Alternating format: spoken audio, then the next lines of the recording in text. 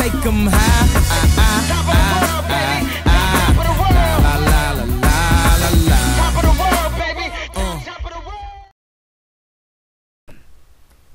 Hey guys, my name is Josh Seawald. I live in New Jersey, and I would love to have this job in Australia because 10 out of the 12 months of the year, the water's freezing. Ice on the jetties, water's like 38 degrees.